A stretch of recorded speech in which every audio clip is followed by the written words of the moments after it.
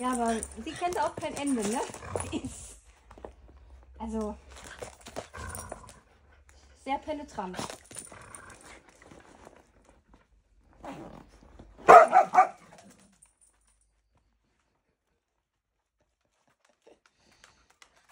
Ja, Jordi, musst du mal, ne? Musst du lernen.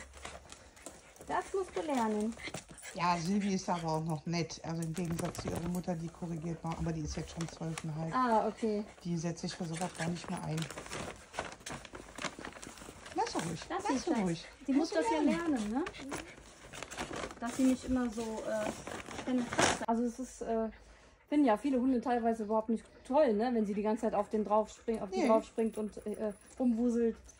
Weißt du, die haben ja eine andere Sprache als wir. Und die Sprache ist halt so. Dass Silvi gesagt hat, lass es. Das ist zu viel.